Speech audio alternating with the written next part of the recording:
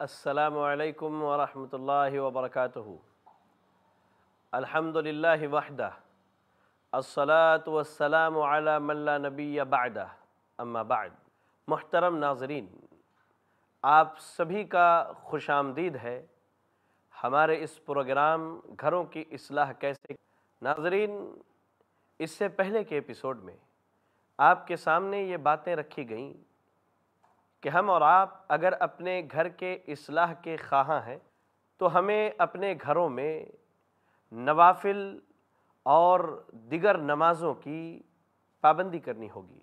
جہاں ہم فرائض مساجد میں ادا کریں، وہیں اپنا معمول یہ بنا لیں کہ ہماری نفل نمازیں، ہماری سنن رواتب وغیرہ ہمارے گھروں میں ادا ہوں گی۔ اور ہمارا یہ معمول بنانا گھر کی اصلاح کا ایک بہترین ذریعہ ہے۔ آج ہم آپ کے سامنے گھر کے اصلاح کے متعلق کچھ اصول مزید بیان کرنے والے ہیں۔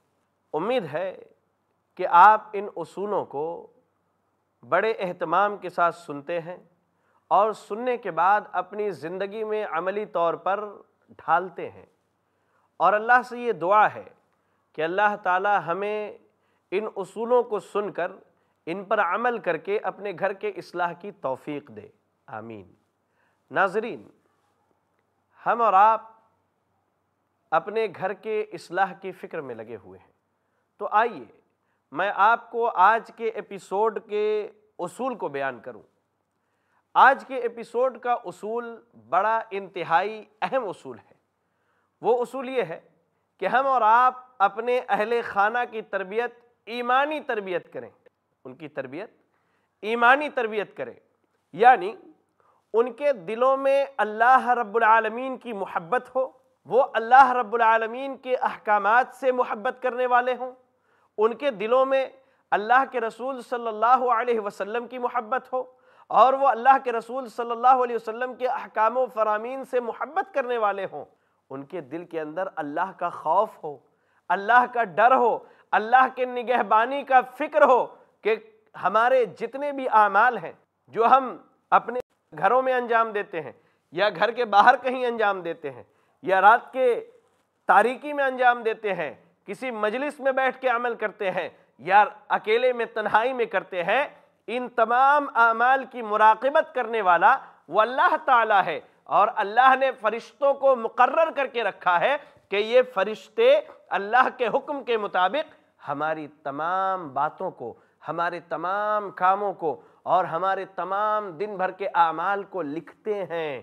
قرآن مجید میں اللہ تعالیٰ نے فرمایا کرامن کاتبین یعلمون ما تفعلون دو معزز فرشتے ہیں جو لکھنے والے ہیں، ہمارے اعمال سے باخبر ہیں۔ اور ایک مقام پر تو اللہ تعالیٰ نے یہاں تک کہا، ما يلفظ من قول الا لديه رقیب عتید کہ بندے کی زبان سے کوئی بھی بات اگر نکلتی ہے تو اللہ کی طرف سے ایک نگرانی کرنے والا مقرر ہے۔ جو بندے کی باتوں کو لکھتا ہے، تو اہل خانہ کی تربیت، ایمانی تربیت ہونی چاہیے۔ اور گاہے بگاہے، ان کے ایمان کو جگانے اور بیدار کرنے کی ضرورت ہے۔ اللہ کے رسول صلی اللہ علیہ وسلم اپنے اہل خانہ کی ایمانی تربیت کیسے کرتے ہیں؟ اور اس تربیت کا نتیجہ کیا ہوتا ہے؟ ایک حدیث سناتا ہوں۔ حدیث کی راویہ تمام مومنین کی ماں، ام المومنین عائشہ صدیقہ رضی اللہ تعالی عنہ ہے کہتی ہیں کہ کان رسول اللہ صلی اللہ علیہ وسلم یصلی من اللیل فاذا اوتر قال، قومی فاوتر یا عائشة یہ صحیح مسلم کی روایت ہے۔ صحیح مسلم میں حدیث نمبر سات سو چوالیس۔ ام المومنین عائشہ صدیقہ رضی اللہ تعالی عنہ کہتی ہے کہ اللہ کے رسول صلی اللہ علیہ وسلم رات میں نماز پڑھا کرتے تھے۔ رات میں اللہ کی عبادت کیا کرتے تھے۔ اور آپ کا یہ معمول تھا، کبھی آپ رات کے ابتدائی حصے میں، کبھی آپ رات کے درمیانی حصے میں، اور کبھی آپ رات کے آخری پہر میں اٹھ کر کے اللہ رب العالمین کی عبادت کیا کرتے تھے۔ اللہ کے لیے نمازیں پڑھا کرتے تھے۔ اللہ سے دعائیں مانگا کرتے تھے۔ اپنے لیے، اپنے اہل و عیال کے لیے اور تمام اہل ایمان کے لیے۔ ام المومین عائشہ صدیقہ رضی اللہ تعالیٰ عنہ کہتی ہیں کہ جب اللہ کے رسول صلی اللہ علیہ وسلم اپنے تحجد سے، قیام اللیل سے فارغ ہو جاتے اور وطر کی نماز پڑھنے کا ارادہ کرتے ہیں، تو آپ ام المومنین عائشہ صدیقہ رضی اللہ تعالی عنہ کو بیدار کرتے ہیں۔ کہتے قومی، اے عائشہ رضی اللہ عنہ آپ اٹھ جائیں فاؤتری اور وطر کی نماز پڑھ لیں آپ بھی۔ یہ ہے ایمانی تربیت۔ کہ شوہر اگر نماز کے لیے اٹھ رہا ہے راتوں میں، تو اپنی بیوی کو بھی نماز کے لیے اٹھائے۔ شوہر اگر قرآن کی تلاوت کے لیے اٹھ رہا ہے تو اپنی بیوی کو بھی قرآن کی تلاوت کے لیے اٹھائے۔ راتوں کو اٹھ کر کے اگر اللہ سے وہ دعائیں کر رہا ہے، گناہوں کی مغفرت طلب کر رہا ہے، اللہ سے معافی مانگ رہا ہے، تو اپنی بیوی کو بھی اٹھائے تاکہ اس کی بیوی بھی اللہ سے گناہوں کی معافی مانگے۔ اس کے بھی درجات اللہ کے یہاں بلند ہو یہ ہمارے نبی نے ہم کو گھر کی اصلاح کا ایک پہلو بتلایا کہ انسان اگر رات کو خود عبادت کرتا ہے تو اپنی بیوی کو بھی اٹھائے تاکہ وہ بھی اللہ رب العالمین کی عبادت کرے۔ اور اللہ کے رسول صلی اللہ علیہ وسلم نے ایسے مرد اور عورت کے لیے رحمت کی دعا کی ہے۔ بڑی جامع حدیث ہے۔ حدیث کے راوی حضرت ابو حریرہ رضی اللہ تعالی عنہ ہے۔ کہتے ہیں اللہ کے رسول صلی اللہ علیہ وسلم نے فرمایا، رحم اللہ رجلا قام من اللیل فصل وایقظ امرأته فصلت، فإن أبت نزح في وجهها الماء۔ رحم الله امرأة قامت من الليل فصلت وأيقظت زوجها. فصلى. فإن أبا نزحت في وجهه الماء. یہ مسند احمد کی روایت ہے۔ اور ایسے ہی امام ابو داود نے بھی سنن نبی داود میں اس کو نقل کیا ہے۔ اور امام نسائی نے بھی اپنے کتاب میں اس کو نقل کیا ہے۔ اور علامہ البانی رحمہ اللہ نے اس حدیث کو صحیح قرار دیا ہے۔ مسند احمد میں حدیث نمبر سات ہزار چار سو دس۔ سنن نبی داود میں حدیث نمبر ایک ہزار تین سو آٹھ اور سنن نسی میں حدیث نمبر ایک ہزار چھ سو دس۔ حدیث کا ترجمہ سنیے۔ ابو حریرہ رضی اللہ تعالیٰ عنہ کہتے ہیں کہ اللہ کے رسول صلی اللہ علیہ وسلم نے فرمایا، اللہ تعالیٰ اس آدمی پر رحم فرمائے۔ اللہ اس کے ساتھ رحم و کرم کا معاملہ کرے جو راتوں کو اٹھتا ہے، خود نماز پڑھتا ہے اور اپنی بیوی کو نماز کے لیے اٹھاتا ہے۔ اگر اس کی بیوی نماز پڑھ لیتی ہے تو الحمدللہ، لیکن اگر اس کی بیوی رات کو اٹھنے سے انکار کرتی ہے، تو اس سے محبت کا پہلو اختیار کرتے ہوئے، اللہ رب العالمین کی عبادت کے لیے، جگانے کے لیے، اس کے چہرے پر پانی کے چھینٹے مارتا ہے اور اس کی بیوی اٹھ کر کے اس کے ساتھ عبادت کرتی ہے۔ اور ایسے ہی اللہ کے رسول صلی اللہ علیہ وسلم نے کہا، اللہ اس عورت کے ساتھ بھی رحم و کرم کا معاملہ کرے جو راتوں کو اٹھتی ہے، اللہ رب العالمین کی عبادت کے لیے، فصلت نماز پڑھتی ہے اور اپنے شوہر کو بھی اٹھاتی ہے۔ اللہ اکبر۔ اپنے شوہر کو بھی اٹھاتی ہے۔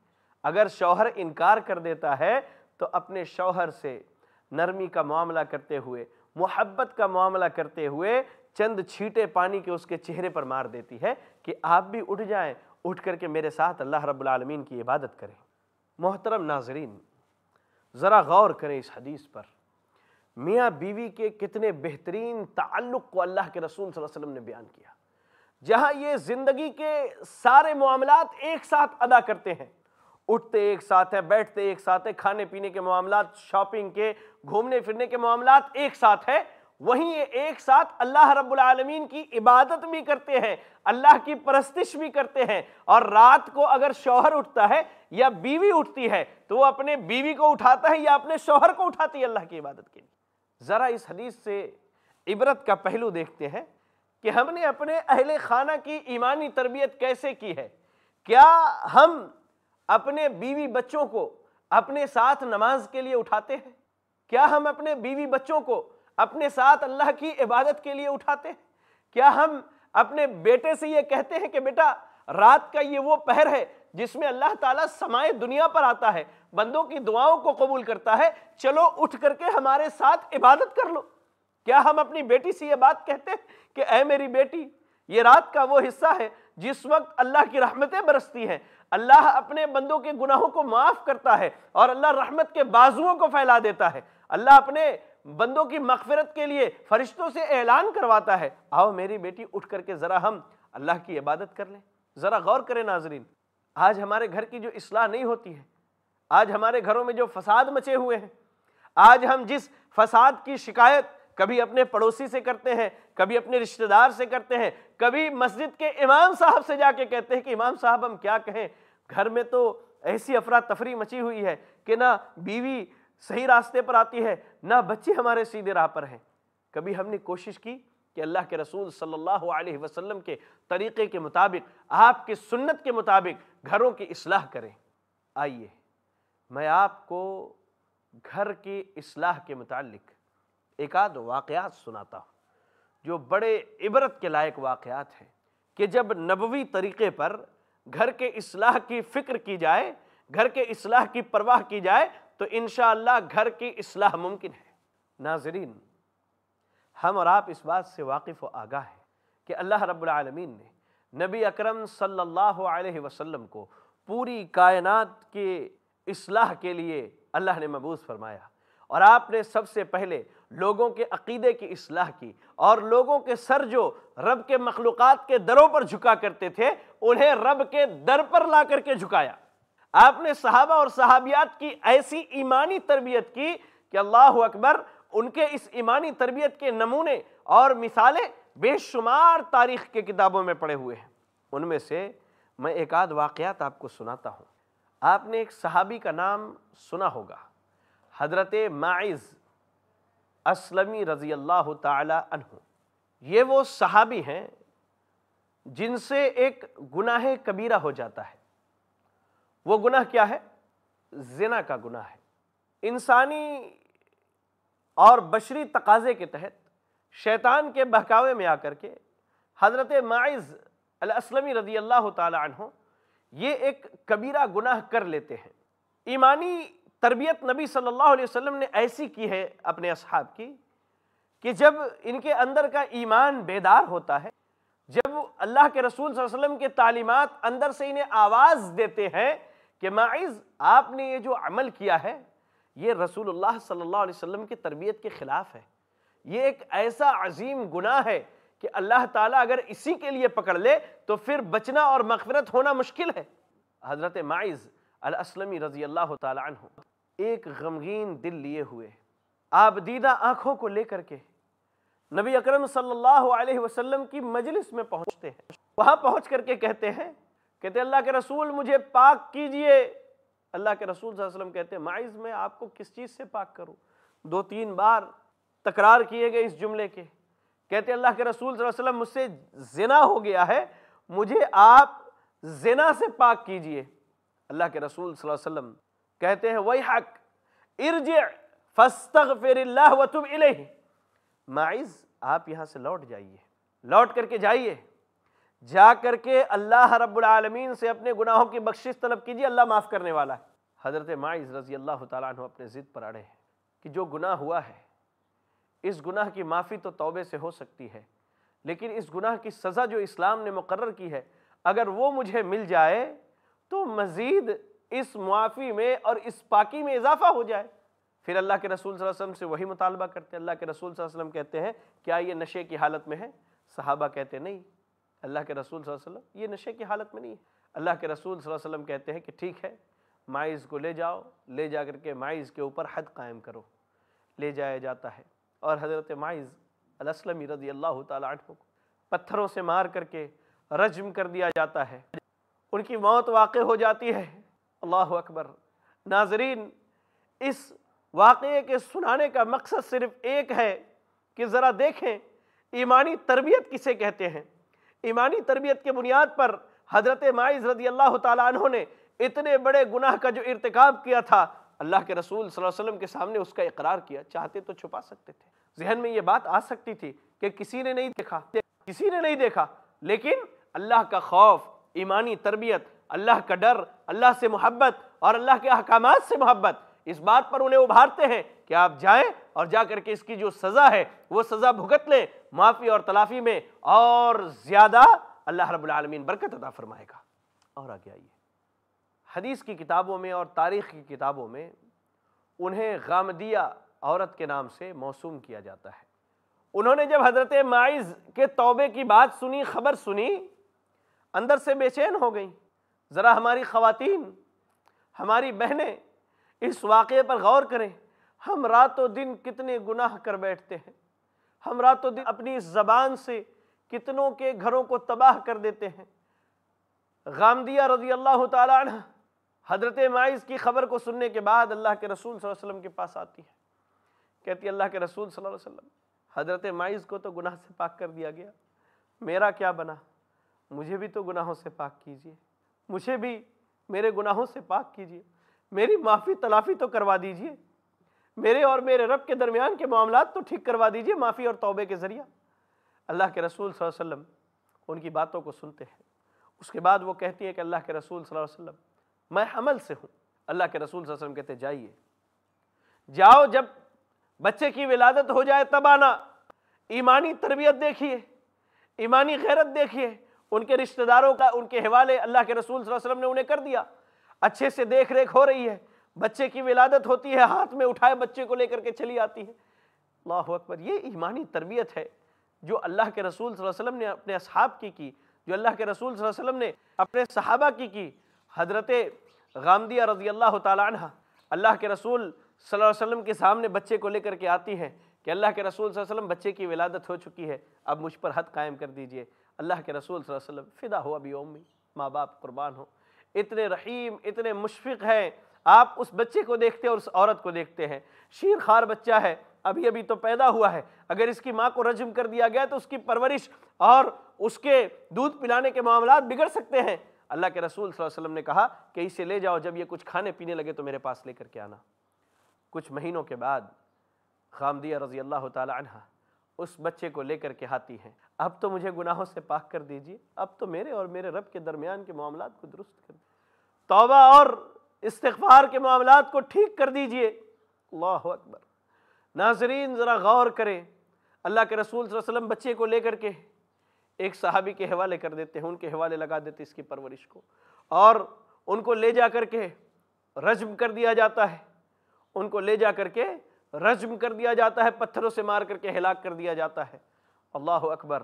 ناظرین، یہ ہے وہ ایمانی تربیت جس کی میں آپ سے بات کر رہا ہوں، جس کی میں آپ سے گزارش کر رہا ہوں، جس کی میں آئی پلس ٹی وی کے ذریعہ آپ سے التماس کر رہا ہوں کہ اپنے بچوں کی اپنے بیویوں کی اور اپنے اہل اولاد کی، اپنے بھائی بہن کی ایمانی تربیت کیجیے کہ ہم سے اگر کوئی گناہ ہو جائے، ہم سے کوئی خطا ہو جائے تو ہم جلد از جلد اللہ رب العالمین کے طرف پلٹیں، اس سے توبہ کریں، اس سے اپنے گناہوں کی معافی مانگیں۔ ایمانی تربیت کے کئی ذرائع ہیں۔ ان ذرائع میں سے ایک ذریعہ یہ ہے کہ ہم اور آپ اپنے گھر کی عورتوں کو اللہ کی راہ میں صدقہ اور خیرات کا حکم دیں کہ انہیں جو مال خرچ کرنے کے لیے دیا جاتا ہے، ہم جو انہیں کما کر کے اپنی حلال کمائی میں سے دیتے ہیں، یاد رکھیں، صدقہ و خیرات حلال کمائی سے کیا کریں۔ حرام کمائی سے کیا گیا صدقہ اللہ کے یہاں قبول نہیں ہے۔ تو ہم اور آپ جو حلال پیسہ کما کے دیتے ہیں اپنی بیویوں کو، اپنے والدین کو، خواتین سے اپنی ماں سے اپنے بیوی سے، اپنی بیٹی سے، اپنی بہن سے یہ گزارش کرے کہ وہ اللہ کی راہ میں زیادہ سے زیادہ صدقہ اور خیرات کریں۔ ایسا میں کیوں کہہ رہا ہوں؟ وہ اس لیے کہ اللہ کے رسول صلی اللہ علیہ وسلم نے عورتوں کو ترغیب دلائی ہے۔ عورتوں کو رغبت دلائی ہے اس بات کی کہ عورتیں زیادہ سے زیادہ اللہ رب العالمین کی راہ میں صدقہ کریں، خیرات کریں، اپنے مال و دولت کو اللہ کے راہ میں خرچ کریں۔ دلیل کیا ہے اس کی؟ اس کی دلیل سن لیجیے۔ اللہ کے رسول صلی اللہ علیہ وسلم کہتے ہیں، یا معشر النساء تصدقنا، فإنی اوريتكن اکثر اہل النار۔ اے خواتین کی جماعت، اللہ کی راہ میں صدقہ کرو۔ اللہ نے جو مال دیا ہے، اللہ نے جو دولت دی ہے، اللہ نے جو اناج اور گلے دیے ہیں اس میں سے اللہ کے راہ میں صدقہ کرو، اللہ کے راہ میں خرچ کرو۔ کیونکہ میں نے جہنم میں سب سے زیادہ عورتوں کو عذاب بھگتتے ہوئے دیکھا ہے۔ اللہ اکبر۔ اللہ ہماری خواتین کو جہنم کے عذاب سے محفوظ رکھے۔ آمین۔ معزز ناظرین، خواتین سے صدقے اور خیرات کا مطالبہ اللہ کے رسول صلی اللہ علیہ وسلم نے کیا۔ اور اس کی ایک وجہ یہ بتائی کہ انہیں اللہ کے رسول صلی اللہ علیہ وسلم نے سب سے زیادہ جہنم کے اندر جلتے ہوئے دیکھا ہے۔ اور آپ کے سامنے مثالیں موجود ہیں۔ اللہ کے رسول صلی اللہ علیہ وسلم کی ازواج متحرات ہم سب کی مائیں، امہات المومنین۔ گھر میں کھانے کے لیے کچھ نہیں ہوتا تھا۔ اور جو کچھ بھی ہوتا تھا۔ ایک مثال ہے، صحیح حدیث کے الفاظ ہے واقعہ بالکل صحیح ہے۔ ام المومنین عائشہ صدیقہ رضی اللہ تعالی عنہ کہتی ہیں کہ ان کے پاس ایک عورت مانگنے کے لیے آئی۔ کہتی ہے گھر میں کھانے کے لیے صرف تین کھجورے ہیں۔ اللہ اکبر۔ اس عورت کی دو بچیاں بھی اس کے گود میں ہیں۔ ام المومین عائشہ صدیقہ رضی اللہ عنہ نے وہ تینوں کھجور صدقے کر دیے۔ تو یہ صدقہ اور خیرات عورتوں کو جہنم کے عذاب سے بچانے والا ہے۔ اور جس گھر میں صدقے اور خیرات کیے جاتے ہیں، وہاں اللہ کی رحمتیں نازل ہوتی ہیں۔ وہاں اللہ کے فرشتے آتے ہیں۔ وہاں اللہ کی برکتیں نازل ہوتی ہیں۔ اور جب رحمتیں آئیں گی، برکتیں آئیں گی، تو وہ گھر ایک اسلامی گھر ہوگا۔ وہ ماحول ایک اسلامی ماحول ہوگا اور ان لوگوں کی ایمانی تربیت کے بنیاد پر ان کے جذبات کو دیکھ کر کے دوسرے سیکھیں گے اور اس سے فائدہ اٹھائیں گے۔ یہاں میں آپ کو ایک اہم نقطہ بتانا چاہتا ہوں، ایک مشورہ دینا چاہتا ہوں کہ کیوں نہ ہم اور آپ ایک پہل کریں، اپنا ایک قدم آگے بڑھائیں۔ اس معاملے میں وہ اس طرح کہ ہم ہر چیز کے خرچ کو تنخواہ ملنے کے بعد جوڑ لیتے ہیں۔ کہ اس مہینے الیکٹرک کا بل اتنا آیا ہے، اس مہینے فون کا بل اتنا ہے، اس مہینے ہمارے انٹرنیٹ کا بل اتنا ہے، ہمارے کرانے کی دکان پر اتنا پیسہ دینا ہے، مہینے بھر سبزی اور دوسرے دیگر اشیاء اور ضرورت کی چیزیں اتنے پیسے میں لائی جائیں گی اور بقیہ پیسوں کو ہم اٹھا کر کے سیو کر لیتے ہیں۔ یہ سیونگ اگر بغیر صدقے کے ہے تو یہ آپ کو فائدہ نہیں دے گا۔ لیکن اگر اس میں صدقے کا حصہ ہے تو اللہ تعالیٰ یورب صدقات صدقات میں برکتیں دینے والا، اس کو بڑھانے والا ہے۔ تو کیوں نہ ہم اور آپ اپنے گھر میں ایک ڈبہ رکھیں، ایک باکس بنا لیتے ہیں، جہاں ہم لکھ دیں صدقات یا کچھ بھی اپنے الفاظ میں لکھ لیں، صدقے کا باکس۔ گھر میں جس کے پاس کوئی پیسہ ہو، وہ پیسے اس میں ڈال دیا کرے جتنا میسر ہو، دو روپے، چار روپے، دس روپے، سو روپے، ہزار روپے، جتنی ہماری طاقت ہے، ہم اس باکس میں ڈال دیں۔ اور جب کوئی ضرورت مند آئے تو اسی باکس میں سے نکال کر کے اس کو صدقہ کر دیا جائے۔ یہ ایک بہترین قدم ہے اور یہ ایک بہترین ذریعہ ہے۔ اور ایسے ہی ہم اپنے گھر میں یتیم کی کفالت کا مسئلہ رکھیں کہ کوئی معاشرے کے اندر یتیم ہے، ہم اس کے تعلیم کے لیے اپنے صدقے باکس سے اٹھا کر کے خرچ دیا کریں اور اس کے پڑھائی کے لیے دیا کریں، اس کے ضروریات زندگی پر اسی صدقے باکس سے خرچ کیا کریں۔ یہ ایک مشورہ ہے۔ تو ہمیں کوشش کرنی ہے کہ ہم اور آپ اپنے اہل خانہ کی ایمانی تربیت کریں۔ اور ایمانی تربیت کا سب سے بڑا فائدہ یہ ہوگا کہ ہر وقت اللہ رب العالمین کے احکامات پر عمل کی فکر ہوگی اور جو بھی بندے اللہ کے احکامات پر عمل کرنے والے ہیں، وہ اپنے آپ کو گناہوں سے، خطاؤں سے اور غلطیوں سے بچانے کی پوری کوشش کرتے ہیں۔ اور ہم اور آپ اگر ان سب چیزوں سے اپنے آپ کو بچاتے ہیں، تو ہمارے گھر کی اصلاح ہوگی۔ لہٰذا اللہ سے دعا ہے کہ اللہ رب العالمین ہم سب کو اپنی اور اپنے اہل خانہ کی نبی اکرم صلی اللہ علیہ وسلم کی سنتوں پر چلتے ہوئے ایمانی تربیت کی توفیق عطا فرمائے۔ آمین۔ و آخر دعوانا ان الحمد للہ رب العالمین۔ والسلام علیکم ورحمۃ اللہ وبرکاتہ۔